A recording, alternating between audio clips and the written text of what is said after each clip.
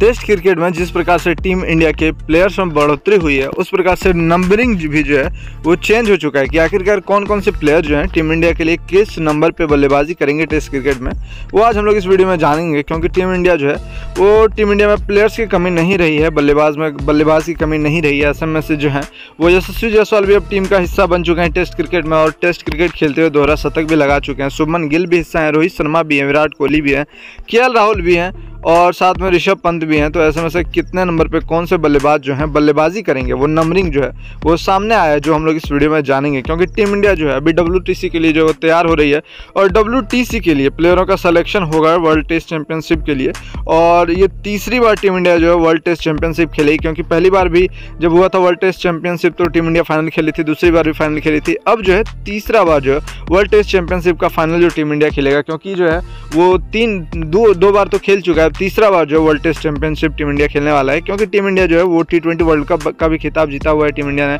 और साथ में ओडीआई वर्ल्ड कप का भी खिताब जीता हुआ अब टेस्ट चैंपियनशिप का भी जो है खिताब जीत करके तीनों फॉर्मेट में वर्ल्ड कप का जो कप है, वो भारत आ जाएगा, क्योंकि दो बार टीम इंडिया को मौका मिला, लेकिन टीम इंडिया हासिल नहीं कर पाएगी। लेकिन इस बार जो है, इस बार टीम इंडिया जो है वो पूरा कोशिश करेगी कि वर्ल्ड टेस्ट चैंपियनशिप का जो खिताब है, वो अपने नाम कर ले, और रोहित शर्मा जो कैप्टन रहेंगे। तो चलिए हम लोग जानते हैं कि आखिरकार कौन कितने नंबर पर टीम इंडिया की तरफ़ से बल्लेबाजी करेंगे। और टीम इंडिया को वर्ल्ड टेस्ट चैंपियनशिप जिताएँगे तो यशस्वी जायसवाल जो है, ये नंबर वन पे आएँगे और साथ में आपके यशस्वी जायसवाल के साथ आप लोग कह सकते हैं कि रोहित शर्मा जो है ओपनिंग करेंगे। यशस्वी जायसवाल और रोहित शर्मा जो है ओपनिंग यानी इनको आप लोग टू पे कह सकते हैं, रोहित शर्मा को वन पे कह सकते हैं। रोहित शर्मा और यशस्वी जायसवाल जो है ओपनिंग करेंगे और वहीं उसके बाद नंबर जो है, तीसरे नंबर पर आएँगे शुभमन गिल। यानी पहला जो विकेट गिरेगा, उसके बाद अगर कोई बल्लेबाजी कोई बल्लेबाज आएगा, बल्लेबाजी करने तो वो शुभमन गिल है। और शुभमन गिल के बाद कोई आएँगे तो विराट कोहली जो चौथे नंबर पर आएँगे। यानी पहला विकेट गिरेगा तो शुभमन गिल आएँगे, दूसरा विकेट गिरेगा तो विराट कोहली आएँगे चौथे नंबर पर बल्लेबाजी करने। क्योंकि विराट कोहली चौथे नंबर पर काफ़ी शानदार बल्लेबाजी करते हैं।